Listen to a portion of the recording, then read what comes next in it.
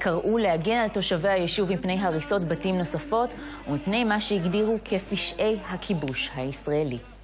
ולחקירת ראש הממשלה, אמש התייחס שר הביטחון אביגדור ליברמן לפרשת 2000 בה מעורבים ראש הממשלה בנימין נתניהו והמוציא לאור של, ידי... של העיתון ידיעות אחרונות נוני מוזס. היו דיבורים, ומדובר בשני אנשים, בשני שואלים ותיקים, אבל מה שברור שבמבחן התוצאה לא היה שום שינוי. אז על הדיבורים בלבד uh, uh, להגיש כתב אישום, uh, להדיח את ראש הממשלה, לא נראה לי